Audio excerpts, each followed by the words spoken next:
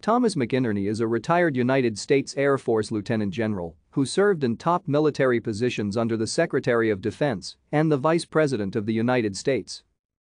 McInerney was a forward air controller and fighter pilot during the Vietnam War and had flown 407 combat missions during his four tours of duty.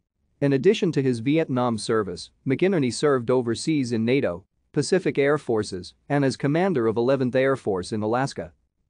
McInerney was born March 15, 1937, in Havre de Grace, Maryland, and graduated from Garden City High School in 1955.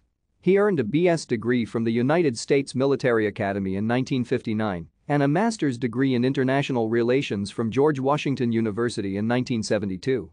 McInerney graduated from the Armed Forces Staff College in 1970 and from the National War College in 1973. After graduating from USMA in June 1959, McInerney was commissioned as a second lieutenant in the United States Army. He then joined the Air Force and completed initial pilot training at Bartow Air Base, Florida and Laredo Air Force Base, Texas in November 1960. Thank you for watching. Like and subscribe if you would like to view more of our videos. Have a nice day.